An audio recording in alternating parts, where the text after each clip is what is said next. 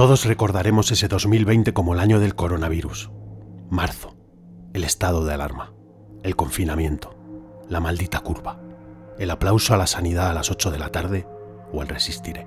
¡Resistiré! Ahora en este 2027 todo quedó algo atrás. Pero ¿os acordáis de cuando se saltó Rajoy el confinamiento? De esto quería hablar. No es que se saltase el confinamiento, es que huyó de España como mejor sabe, haciendo footing. No podía aguantar el confinamiento.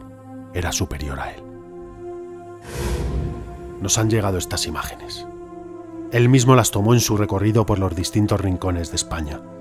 Utilizó su rol de expresidente para conseguir alojamiento y comida, siempre sufragando esos gastos y el silencio de sus cómplices con grandes sumas de dinero.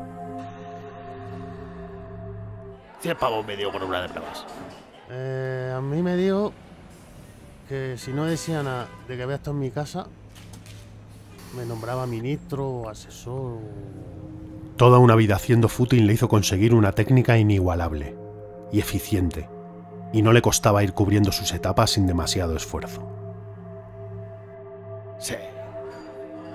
Es que tiene mucha clase. Las últimas noticias que tenemos son que huyó por la frontera de Galicia a Portugal.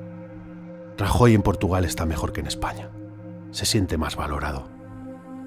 Su forma peculiar de hablar allí pasa completamente desapercibida, entre otras cosas. Rajoy se queda en Portugal.